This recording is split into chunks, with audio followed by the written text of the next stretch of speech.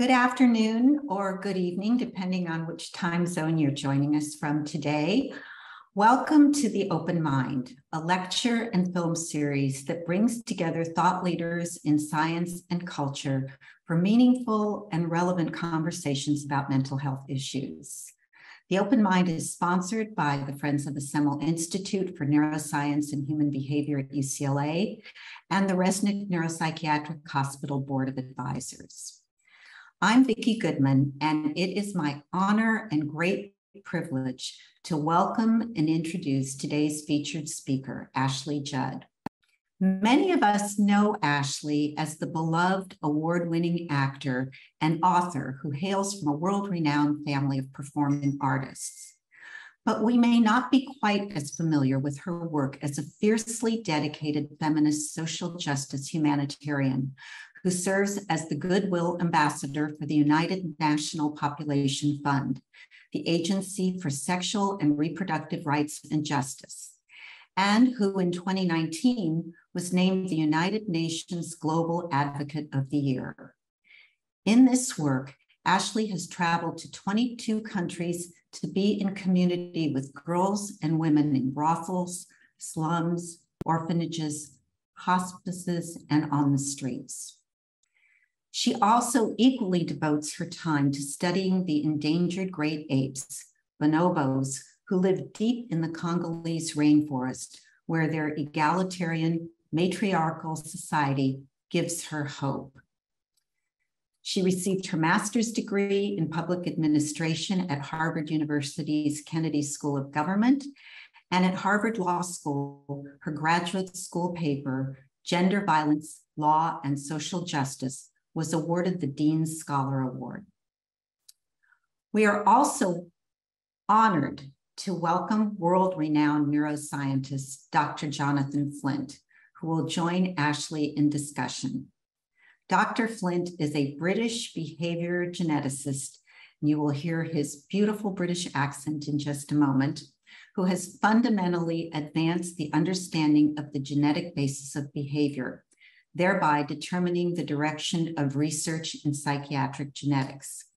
He trained in medicine and psychiatry in London and in Oxford before moving to UCLA at the beginning of 2016 to become one of the leaders of UCLA's Grand Challenge for Depression, a campus wide initiative to find the causes of depression and to use that knowledge to develop new effective therapies.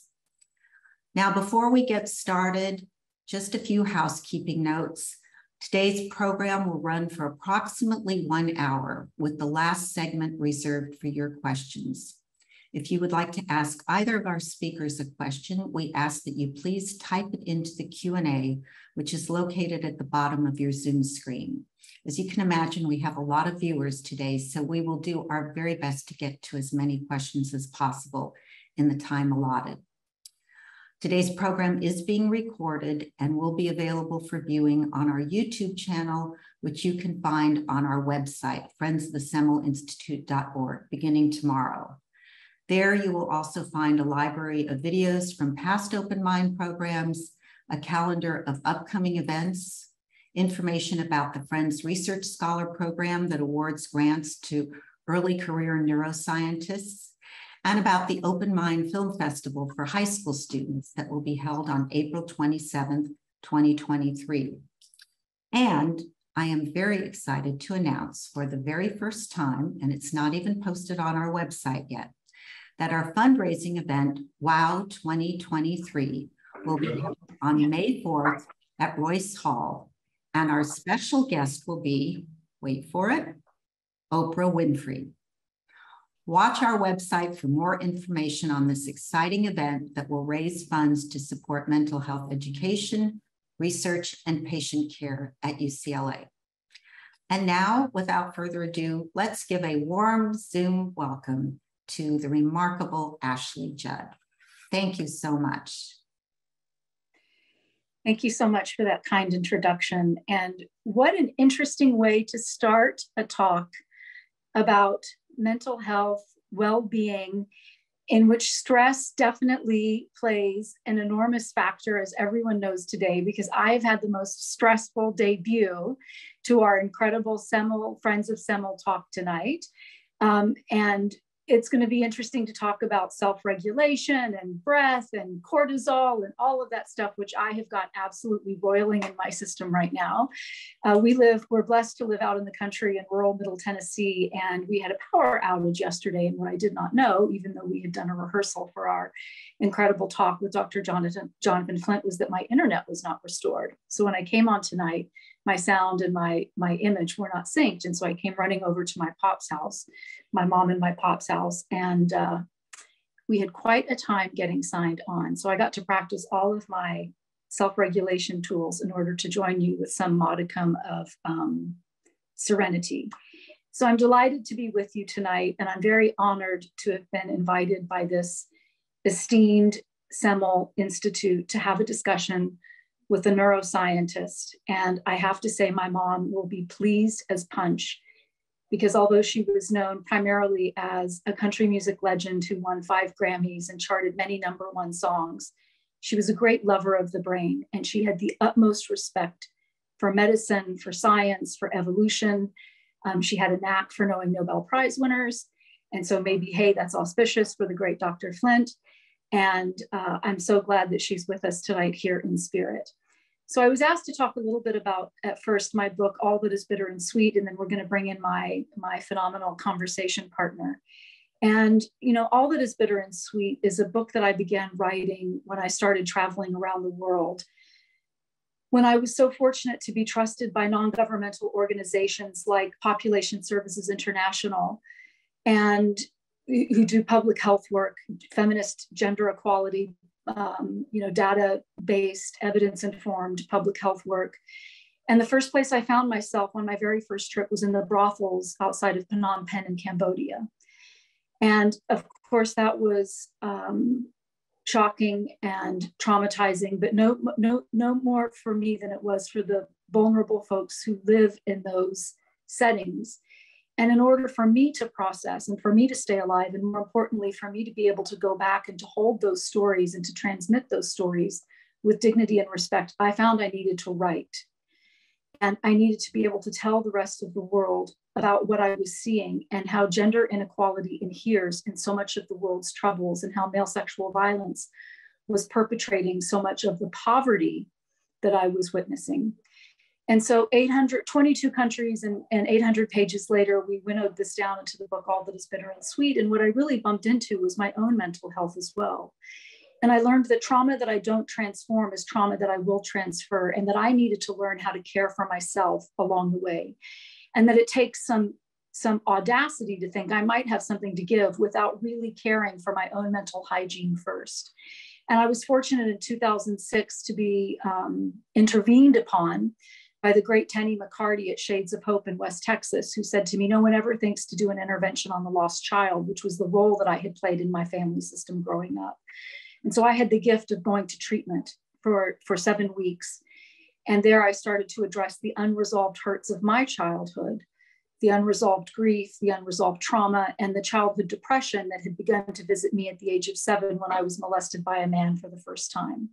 So that is some of what we will be talking about tonight with the great behavior geneticist, uh, Dr. Jonathan Flint, who was looking for, I mean, he's been cited, I think I read 49,000 times, um, and began his empathy and compassion for those who carry a mental health burden when his mother founded the first suicide hotline in the UK and he began answering the phones with her when he was a teenager. So this is some of what we're going to explore together tonight. And it's now my pleasure and honor to welcome him into our conversation. Please join us. Thank you. Thank you so much for introducing me in that uh, very flattering way. It's kind of you to uh, regard me as um, such a great neuroscientist. I don't really feel that myself, but um, I think one of the problems of our field is that we struggle with the research because it is such a hard problem to address. And the uh, advances we make, um, you were kind enough to, to comment on them, we find um, them to be so little, particularly commensurate to the problem that we're facing. Uh, so thank you for that, actually. I, I, wonder whether we could start, though, with um, just going a little bit about uh, your own experiences because I think certainly for me it's been extraordinary uh, discovering about you what you've been through and um, really to start a discussion around this question of resilience and why is it that some people um, have extraordinarily difficult lives but in some cases prosper, if I may say you have done. And for other people, relatively minor things derail them and they find life very hard to cope with indeed. Um, and it I think it just might, might be helpful for our audience to hear a little bit more of some of the, the, the things that have affected you through your life. Sure, I would be happy to talk about that. And, you know, I want to also start by saying and and and and make an offering that I do believe that we all have resilience. I think that we all have the muscle of resilience. It's that some of us may be environments in which we have more opportunity to use it. We may have more information about how to access it. And that resilience is, is really activated environmentally, and that environmental environmental responses can help us access our resilience or can really tamp it down. And, and, and you are probably more familiar than even I am about the study where there's some animals in which they were, uh, and a traumatic event was induced for the animals. And those in whom an, a, a resilient, friendly environment was provided for them, they were more resilient faster than the animals for whom a non resilient friendly environment was provided.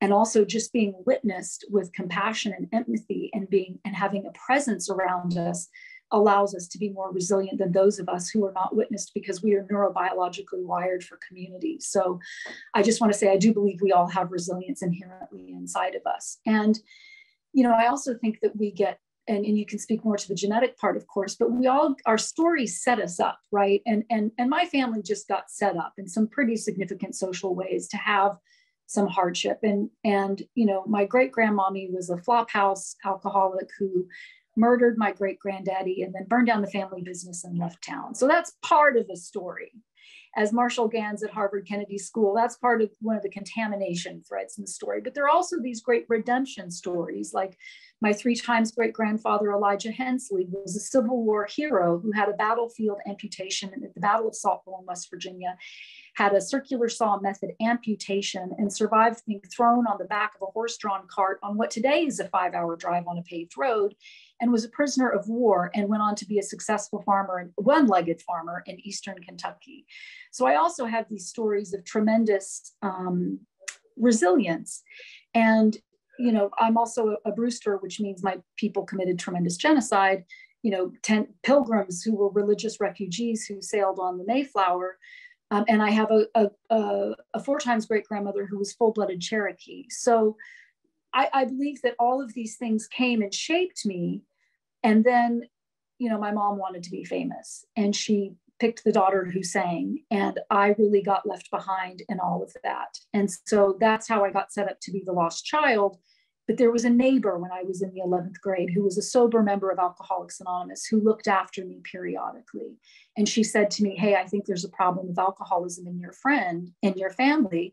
And she showed me that there was another way to live. And that gave me a little bit of hope for that year. And, you know, um, then my grandmother took me in for my 12th grade. And, and I also had grandparents with whom I lived over the summers where I was fed and watered and went to a, a pool every day and had vacations. And so I, I had episodes of, um, of being cared for while I also had these episodes of tremendous neglect. And so um, that's a little bit of of those stories you know. And i also had a summer of commercial sexual exploitation when i lived in japan as, as allegedly as a model when the first thing that happened on my first day in the office was i was told to take off all my clothes and walk around the office.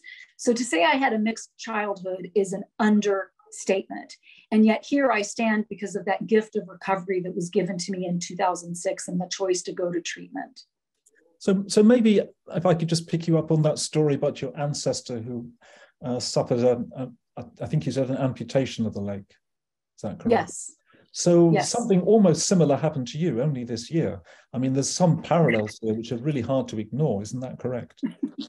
yes, I didn't mean to. I didn't mean to imitate that part of the family story. So, sure, you didn't mean to. Um, yes, I don't know if it was Elijah Hensley's right or left leg, but I nearly had my right leg amputated when I fell in the Congolese rainforest and um, almost had compartment syndrome and the leg broke in four places and my right foot was paralyzed. And it took 67 hours to get help without any pain medication, I might also add. And, you know, what helped me was that I was in community the entire time that I was suffering. When I first fell, and I lay on the rainforest floor for five and a half hours with my leg shaped like a boomerang. A friend named Dieu Merci, whose name means thank you, God, sat on his haunches without flinching, supporting the broken bones in my leg. And his eyes were just these deep wells of compassion. And so no one could do the suffering for me yet I didn't have to do my suffering alone. I was witnessed and known in my experience.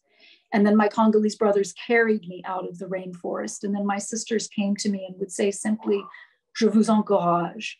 I encourage you. They didn't have a pain pill, they didn't have a splint, they didn't have an IV. You know, they didn't have a tourniquet, but they could say, I encourage you. And that touched my spirit.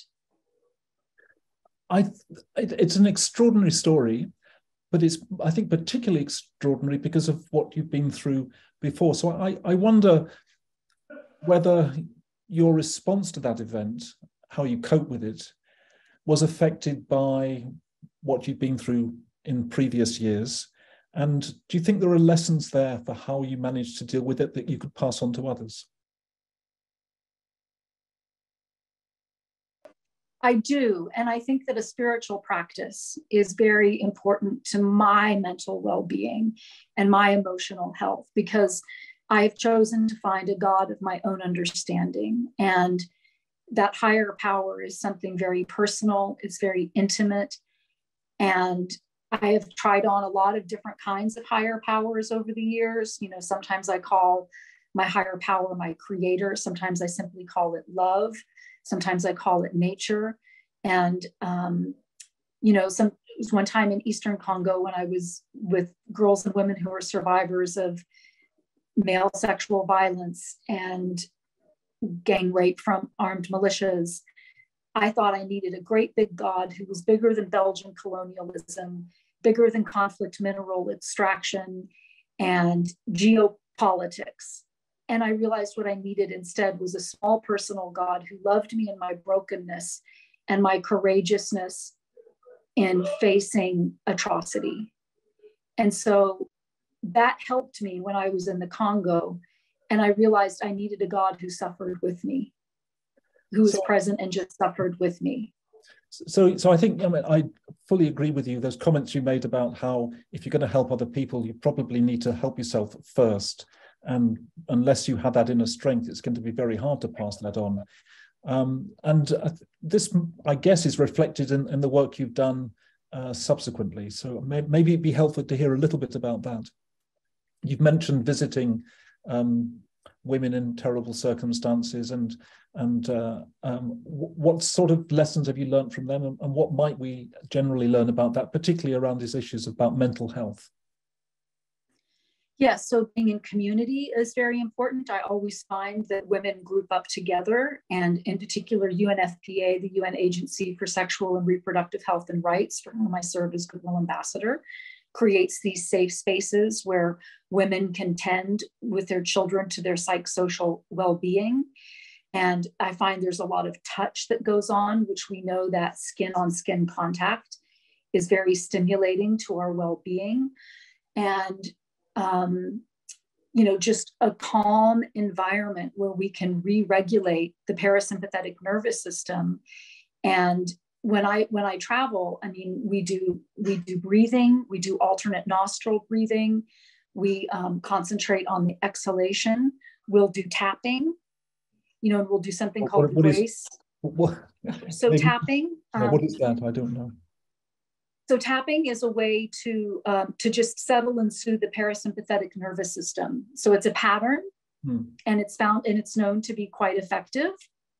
And it's it's portable. It's it's easily transmissible, and um, there's something called the Grace sequence that was developed by Dr. Dodge Ray, a clinical psychologist, and it It incorporates a little bit of EMDR. It incorporates a little bit of pranayama from yoga, breath work, mm. and an ancient mudra. And it also it, it's kind of an on the fly uh, desensitization for trauma. And these are all things that I use myself, and they're very easy to teach to other people as well. That's an, an impressive set of skills that you've built up o- over the years. So you, you, you know from our previous conversation, and you've told our audience that I'm a geneticist, and so I'm tending to look at these things from a from a fairly hardcore biological basis. But on the other hand, one of the big advantages of using genetics is it actually gives us a bit of a handle on what is not genetics. In other words, the things that might be in the environment. And one of the questions that we're often asked asking ourselves is is this one that we mentioned earlier about why is it that some people are, are more resilient uh, and, and, than others and and from our perspective certainly part of that has to be their their in their genetic constitution to, to some extent a heritable trait but it's been so far very hard to access that to, to really make any in, in inroads into understanding what the underlying biology of, of that might be um, one I one thing like from talking with you that obviously um, brings to the fore is whether we might do better to start looking for some of the environmental causes of resilience. And I wondered from your own experience or the, reading you've done in this area, if you had any ideas as to why it is that some people might be more resilient than others. From environmental reasons? Yes and and also for people who are with us who may not necessarily know what environmental means in this context can you unpack that a little bit please? Well essentially it means everything it's a it's a catch-all term for everything that doesn't depend on your dna so everything that's right. that's um, not inherited. Right. Um, you know i think i saw it modeled in in my mom. You know she was so determined and so indefatigable. I mean, she really faced extraordinary odds. Um, sometimes there were things I knew that were probably age inappropriate for me to know, like when she was sexually harassed at work by a male boss who wanted her to go away for the weekend. And he fired her when she didn't. And we were paycheck to paycheck. But somehow or another, she managed to keep going. You know, there were things like that that I knew when I was little. And, um, um, you know whether it's houses in which we lived with substandard heating and her bringing in the coal and you know the things the things that people who are housing insecure or who live in low income houses see all the time with parents who manage to make do. Hmm. there were things like that that i saw growing up and also just her her fierce determination to pursue her creative career. I mean i saw that you just you just don't give up. But i also think that in the recovery community is really where i have seen hmm beautiful resilience that that there is a way to be happy and joyous and free and that the the the, the scores of the past can be settled so to speak and that it's mm. not that the um, that the grief of the childhood can be resolved and i may not be able to have a happy childhood but i can make a good today and a beautiful future with a chosen family I mean, that, that's such an optimistic message, Ashley. It's really good to hear that in, in a time when we get so much bad news, that there are possibilities of uh, really progress and being able to cope with, with bad things happening to you. You've mentioned community quite a few times here, and um, that can mean a, a number of things. What do you think is important about community in, in, in, the, in the healing process? I can tell you the day that um, you know, my beloved mother died by suicide, I had so many people to call. There were five women who were with me within moments of my sharing that tragic news with them. Mm. And they are my chosen sisters. And I was just reflecting overnight. I had one of my, you know, 2 a.m. wake ups overnight. And I was reflecting on those first days after her passing and how there was always someone with me at my house you know the first night my partner was still in in europe thank god because pop was also in europe and my partner flew to vienna to collect pop and to fly him home because pop never would have been able to navigate that transatlantic flight by himself so that was a real blessing but my friend slept with me in the bed and held my hand all night. You know, that's the value of community. And, and they organized the food and they took out the trash and they swept the porches and they put the furniture coverings on at night because it was still, you know, dewy. And my community held me physically and they held my home and they held my soul. And so there's that and then and then I, I, I came home to tennessee on sunday and i didn't want to come home to an empty house so i was like okay who's home on sunday at two o'clock i'm coming to your house for a hang for a couple hours before i go home to chanticleer um, because i know today that i exist as an individual but i exist in fellowship and I'm interdependent. I'm not meant to be anti dependent or too independent. I'm meant to be interdependent. And that is totally different from the isolation of the childhood in which I grew up. So which sets us up for depression. Isolation sets us up for depression. I think that's a really, really important point. We, we, as you know, run some large projects looking at the origins of, of depression. Uh, we focused on looking at it in, in women, and we've done that because it's a commoner disease in, in women. And also because I'm a geneticist, there is a larger heritable component in, in women. And one of the things that we try and tease apart is the extent to which social um, effects are important. So we ask a series of questions around how our women have been in the past interacting with their partners, with their uh, anyone who's been close with them. And there is a clear relationship between isolation, those people who've not managed to establish good contacts, uh, as you say, are, are, fairly isolated, and, and the risk of developing depression later. Now, I, I guess there's there'll be people in this audience who, who will have, I hope not as bad as some of the experiences that you've been relating, but at least we'll have you know we'll we'll we'll um, have at least some of the, the pain that, that, that you've been through. And i wonder what you think might be useful um, for those people to hear about uh, what you've been through. I think that 12-step programs are essential for a form of recovery. They are ubiquitous. They have membership for a different a full spectrum of hurts mm-hmm. and challenges, you know, whether it's adult children of alcoholic and dysfunctional families, whether it's survivors of incest anonymous, whether it's, you know, for compulsive shopping or gambling or debting spending. Of course, there's Alcoholics Anonymous, Narcotics Anonymous, Anorexics and Bulimics Anonymous. 12 step programs are beautiful and they really work for people who who, who apply those spiritual principles to their lives. And of course, the first word of every first step is we you know mm. it's about community and i think a morning practice of some quiet time reading something that expresses my highest values and aspirations and ideals is a way to set me up to settle and soothe and to feel calm and centered and grounded. I just spent some time with my wisdom teacher today, and there's a lot going on in my life right now. You know, we're approaching the five month anniversary of my mom's passing, you know, my sister's on tour. I'm seeing two of the concerts this weekend, which brings up a lot of deep poignancy, both joy and sorrow.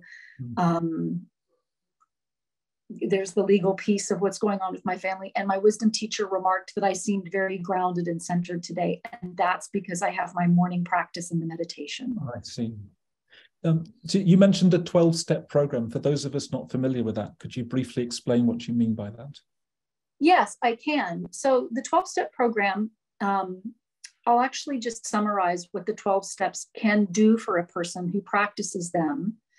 Um, they are they are a fellowship. They're not a secret society because, of course, we want people to know they exist. You can find them anywhere online, but individuals are asked to maintain their personal anonymity at the public level because no one speaks on behalf of a 12-step program. Um, um, but so if, if, if one, for example, uh, wants to learn about uh, alcoholism, you might say, I'm powerless over alcohol and my life has become unmanageable. Mm. And then you can go on to uh, practice the 12 steps and it will expel the obsession to drink and enable the sufferer to live usefully and happily whole. And that principle can be applied to any problem. There's even Racists Anonymous. I see. Okay, that's that's. I think that's helpful. And you think this is also something that would be applied for the the traumatic experiences people have been through the sorts of experiences you would you mentioned in your in your work for the United Nations. Is is this appropriate for those for those sorts of problems too? So I think that um, that it that it can support trauma healing. Yes, but the, but but for, but trauma is a very specific animal, right? Mm. Because trauma is an undigested memory that is iterative, intrusive, and vivid, and hijacks the body and needs evidence-based care, something like EMDR. Yeah, yeah. No, I think I, we'd, we'd agree with that. So we, we've discussed um, some rather grim subjects here. I wonder whether just stepping back and looking at this from a broader perspective, we focused on the, and I think we'd, we'd all agree, the importance of, of community, of interaction, of setting up better relationships, close relationships with uh, individuals. How do you think overall in society, in the society in, in the US that we do with establishing community? And if, if you think we're not doing it well, are there any lessons for us to improve that? I think that's a really good question for reflection. And I think our Surgeon General, Dr. Vivek Murthy, speaks very uh, eloquently and passionately about the loneliness epidemic in America. And some of us are good at establishing community. People, uh, there's a lot of research that shows that folks who volunteer are happier, they live longer. Um, you know, I, I, don't know how you feel about the saying, what what fires to, uh, what fires together wires together mm. um, but when we when we connect with our fellows we do you know different regions of the brain light up like the anterior cingulate and um, it's good for us but we don't have as much these days as we used to because those little devices on which we're talking right now and so i encourage you know community and myself i watch for that tendency to isolate in myself and hopefully i'm fostering it in my wider community by making those connections myself and by reaching out to people mm-hmm. you know? yes so so put it briefly you're blaming this for some of our problems would that be correct hey you know it's the race to the bottom of the brainstem yes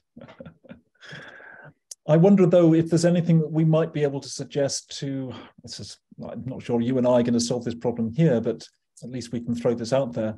Like like is there anything that we might suggest to improve things is there any sort of simple i mean going back to your 12 step issue maybe there should be a 12 step for weaning us off our social media devices and allowing us more time to interact with um, others well there's also been some research lately about the about the benefits of talking to strangers you know um, and and just interacting with with uh, with folks we we don't necessarily know. And I have to say, as we, um, we Brits don't do that sort of thing, as you know, Ashley.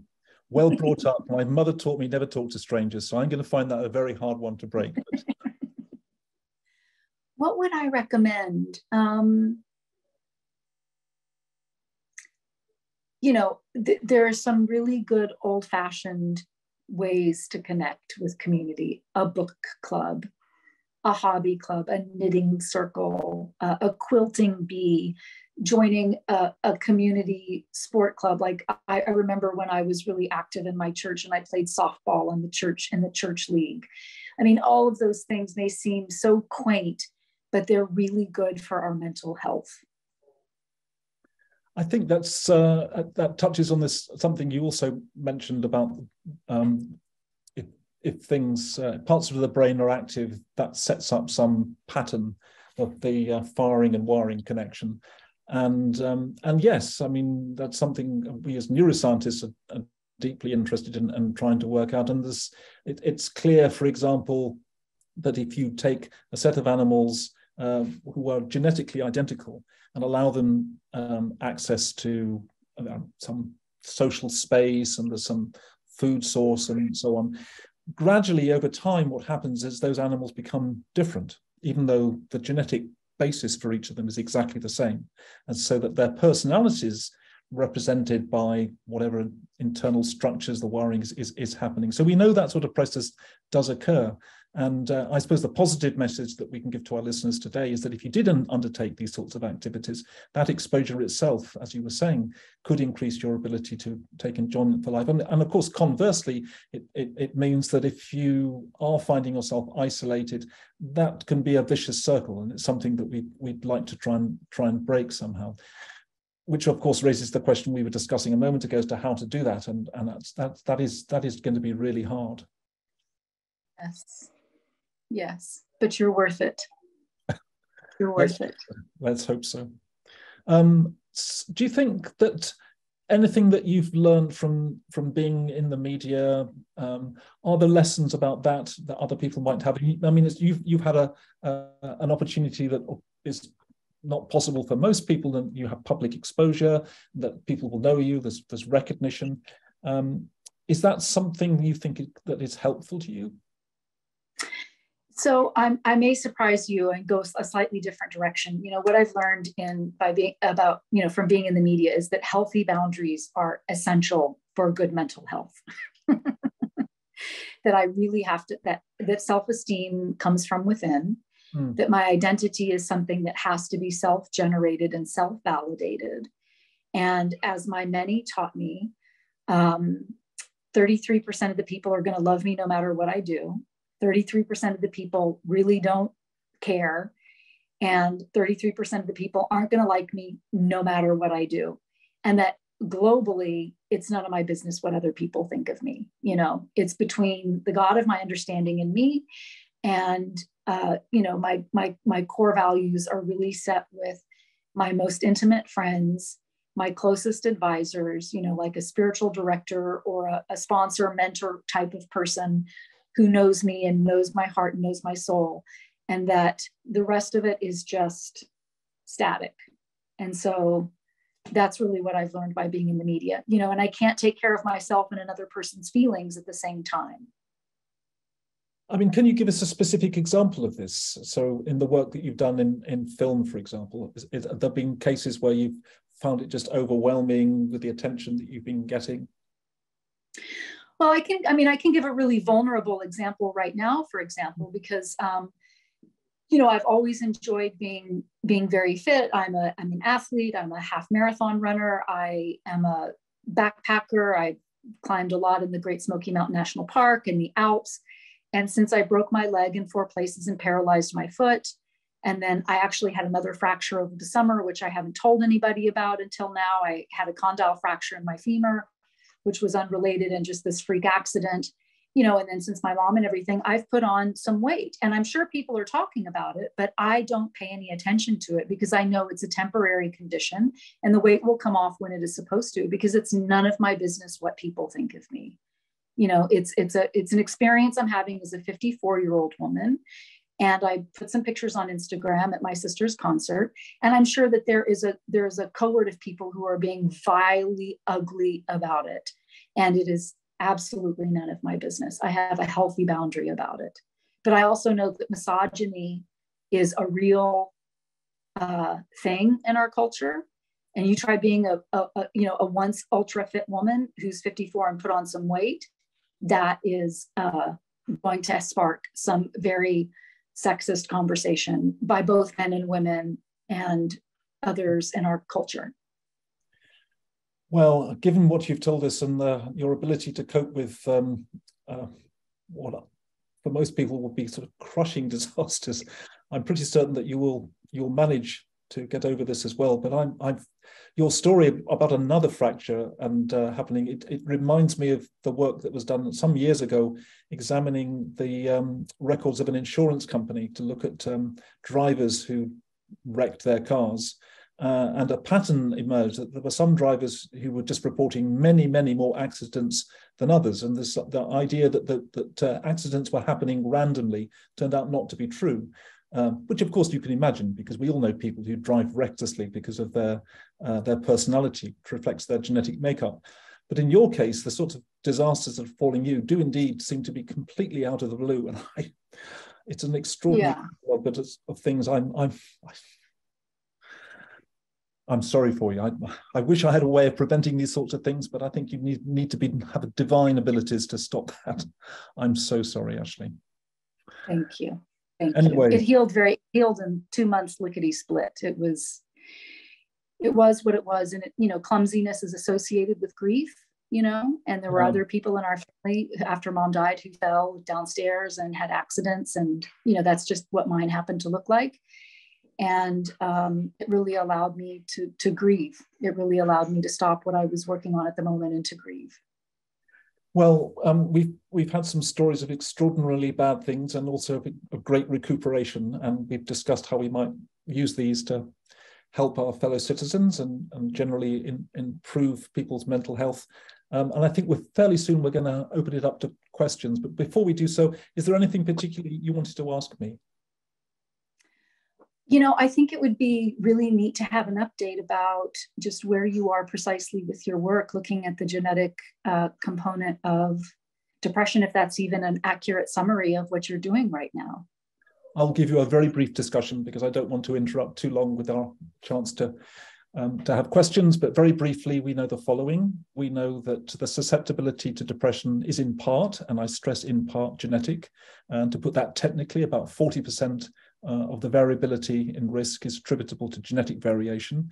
And we're in the process of identifying regions in the genome, not genes, but just regions in the genome, which increase that risk. And once we have those fully identified, we're in a strong position to understand the biology, the pathways that lead to that, uh, to allow us to develop, therefore, an understanding of the mechanisms, have better treatments and improve people's lives. But to go back to what we were reflecting on earlier, all of these discoveries are also a handle on how to understand what's happening uh, from the environmental side. So if you have a very complex problem, you don't know where to start. If you can at least take this part of it, it's the genetic side, put it out. That means the rest, which we were discussing earlier, the environmentals. So it gives you a little handle on that so we can begin to pull it apart. And the examples we take for, like in, in your case, will be here is someone who's who's survived, who's clearly very resilient. I want to sequence your genome. Maybe Ashley, you'll be able to give us some clues as to what's going on. Oh, that would be really exciting. Okay. That would be really exciting. Thank you for that update and thank you for what you're doing. It's very special and important. And thank you so much for sharing your stories this evening. And pleasure. I would like to add our thanks to both Ashley and Jonathan. Um, Ashley, thank you for being so open, so vulnerable and courageous, and for sharing your pain and the resiliency skills you've developed to cope with hardship and trauma. I think you've taught us so much tonight about community and the importance of it. And you've given us a lot to think about. So thank you. And Jonathan, um, you are a brilliant interviewer, not only just a brilliant geneticist and neuroscientist, but this might be something you could add to your career. Um, you ask very pertinent questions and um, and and shared your vast knowledge and expertise with us. So thank you to both of you. Um, you. And uh, I'm glad that UCLA brought you from across the pond. We are very lucky to have you. So on to our questions. Um, we have a question from Shari and Garen Staglin, um, who are joining us from Napa. And um, I'm just going to add that their son, Brandon, was a speaker for us um, just a few months ago for an open mind. And um, so they uh, are asking um, first, they comment that uh, Ashley, you traveled with them and your godmother, Piper Evans, in France during a YPO trip to Paris. They're asking, how has your audience or your fan base allowed you to empower others to speak up about their own mental health conditions and avoid the stigma that surrounds these illnesses? Well, I think that's a great question for uh, both the good doctor and me because depression is the number one public health morbidity. And it is important to talk about it because it is, in some ways, very normative. And if we're not talking about something that so many people are experiencing, we're really hobbling ourselves from addressing it. And so, there, to me, there is this paradox or even um, sort of strange. Uh, I, I, don't mean to use hypocrisy in a negative way, but it's just it just is so um, puzzling to me if we're not talking about depression openly and honestly when so many people are experiencing it in a, in a very routine way. And you know i think that i think that um, you know whether it's the fan mail i receive where people are sharing their spirit their experiences of, of childhood sexual abuse of of of of male sexual violence or their experiences with depression. And that certainly validates that it's it's appropriate for me to speak up and to share my own stories particularly of recovery because it's abusive to point out problems without also highlighting and guiding people to to to solutions and to and to emphasize it is 100% possible to heal. And the healing arts are abundant and beautiful and accessible I'd just like to, to reiterate those points. I think um, one of some of the work that we do has been in in uh, communities, particularly in East Asia, where it's it's very hard to talk openly about uh, any psychiatric illness, uh, and that we come across cases where um, the, they are only admitted to hospital when things have got so extreme that that uh, it's been you know really hard to treat such people, and and it's it's obvious that improving our ability to communicate these things and talk about it is is is really vital to that. Uh, and we've begun discussing this with um, with the media. Can we have more open discussion, just providing just uh, initially at least just informational stuff like um, um, small videos to give us good examples of what's possible. Thank you both. Um, we have a question here from um, an anonymous attendee. Um, goes on to say for people who have been victimized, it is not uncommon for them when they seek justice to be re victimized by the justice system. Yet the act of seeking justice can also be important in healing. Ashley, can you speak to the upside and downside of your attempt to seek justice for sexual assault? And yes. can we hear if there's actual neuroscience around the need benefit to seeking justice and being heard that helps with resilience or healing? So that's mm. both of you there. Yes. Yes. Would you like to go first? no. It's a difficult question. Um, Very difficult question. Yeah, I, I Ashley, what do you think saved me here? I'm struggling with this one. Yes, to... no, it's it's um, absolutely dealing with the system. It can be the second rape, and uh, it's you know we need we need trauma informed responses. We need uh, female centered care, and I 100% hear the need for justice as well.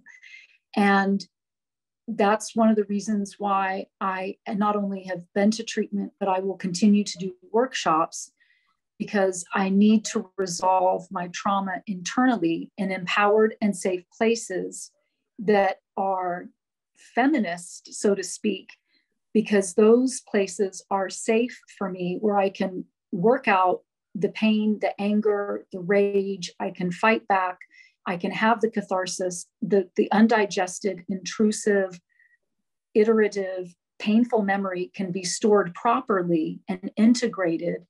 So it becomes this organic grief that I work through. And then I can show up as an empowered survivor and seek my justice rather than being traumatized while going through a traumatizing system that is still very dysfunctional. That's a very powerful answer. Very. Thank you. Uh, we have a question from Leo.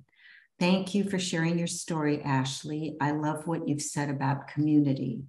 From my experience, building community requires opening up and being somewhat vulnerable. Did you find that to be the case? And was it a challenge for you to be vulnerable? How would you recommend getting past that hurdle? Thank you so much. Leo, that is such a good question. And yes, I can I can tell you a story. I mean, it requires letting people getting to know me and me getting to know people, you know, and building that sense of safety and trust and belonging. And um, I I had a, a healing weekend at my house once with a group of women, and we had we had it um, the food brought in and we were all agreeing that we'd had such a special time that we wanted to repeat the event the following year. And one of the women said, and maybe we can do the grocery shopping and the cooking together. And I froze because I was enjoying it, but I didn't know if I could handle the intimacy of standing next to another woman at the stove and frying eggs together. Like that was a little too close for me. That was a little too much. And now I'm telling you what, I can sling hash with anybody. I can do the shopping, I can plan the menu, I can go to the Smoky Mountains with a picnic basket.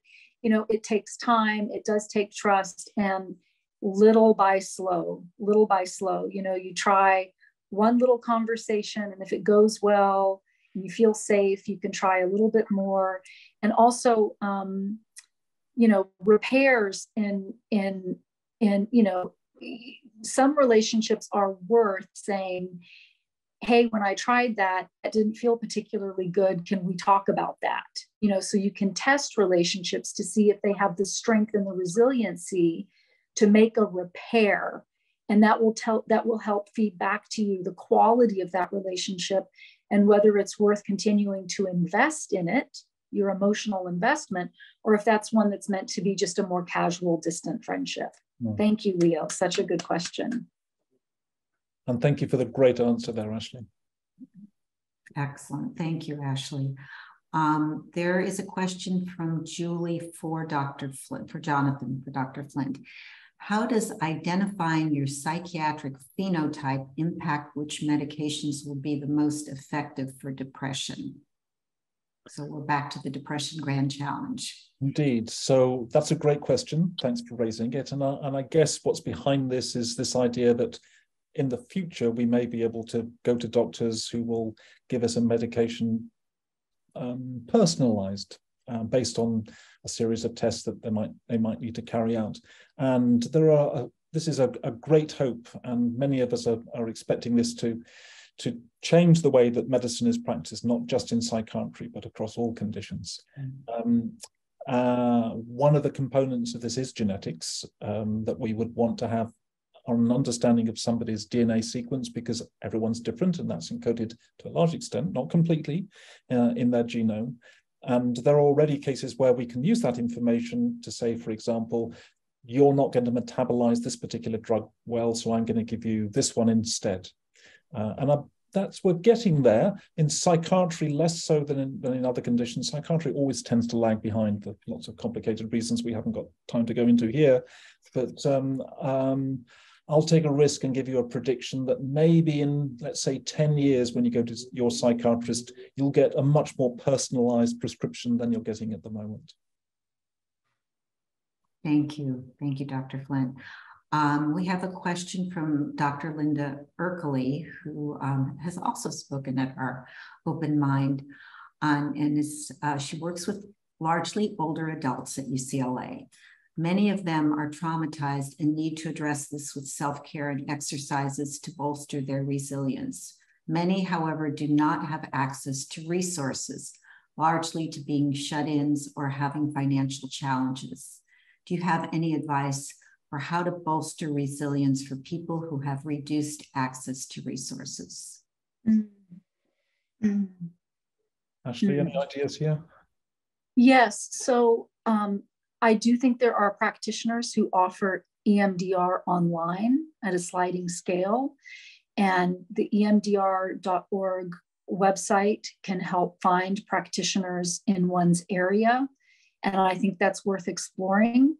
And because there's an EMDR, you know, first of all, EMDR is eye movement desensitization I can't remember what the R stands for, but it is an evidence based modality that can be done on an online platform. So I would definitely recommend exploring EMDR for desensitizing trauma. And then um, how do we get how do we get seniors who are isolated connected um, mm. in community?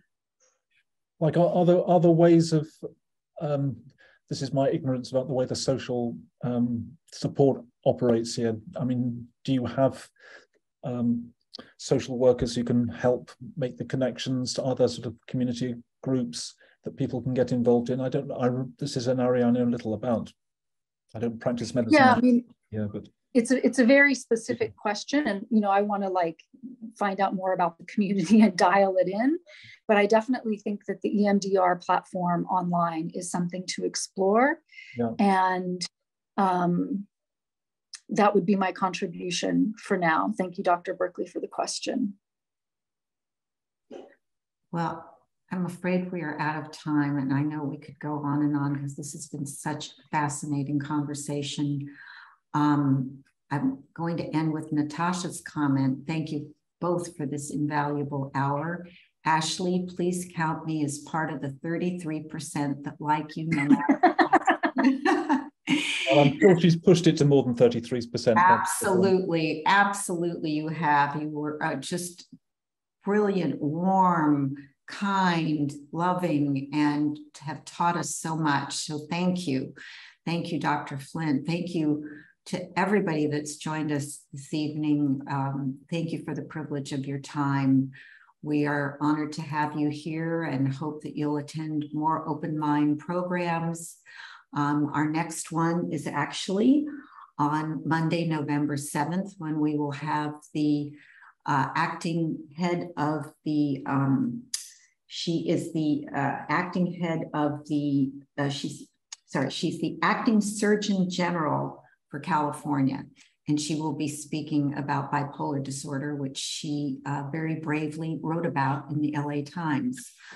Um, so I hope you'll join us for that and many other programs.